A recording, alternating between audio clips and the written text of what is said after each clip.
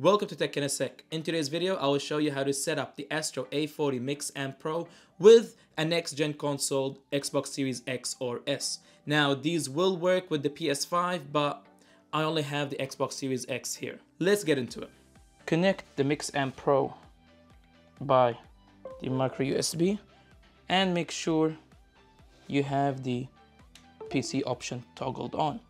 First, you go to Astro's website, go on support and click software.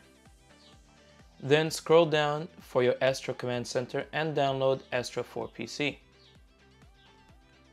After that, just do the quick install. Once you launch your Astro Command Center, here it will tell you what product you have and if there's an update available. You would need to update it to get it working on the Xbox Series S or X. So click on update, click update, and we'll just wait for that to finish. Your new updated version is here. Now we should go and connect it to the Xbox Series X. First, what you're going to do is take your Mix Amp Pro, make sure that the Xbox option is on and you take your micro USB and you plug it in like that. Plugging the other end to any USB input on the Xbox. Now in the front, you plug in your audio cable, make sure it's all the way in. Plug in your audio cable for your headset. From your Xbox home menu, navigate to the settings. Under the general tab, go to volume and audio output.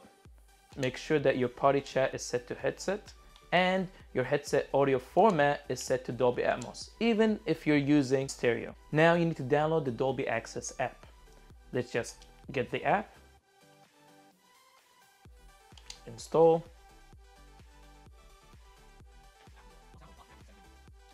Once it's downloaded, launch the app. If you want Dolby Atmos to be enabled, make sure you click this button and this Dolby icon should be lit up. After everything is set up, if you go to product, says ready in use.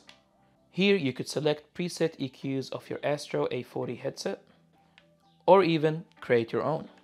If you don't want virtual surround sound, you could just switch it off and the custom EQ will still be applied to your stereo sound. Now you're all connected to experience next-gen sound with next-gen console. If you like what I'm doing, please like, subscribe, and happy holidays. Thank you.